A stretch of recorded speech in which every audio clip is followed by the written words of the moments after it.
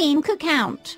Upon firing, it shoots up the shell which explodes in sky emitting expels several green color balls followed by golden glittering lines.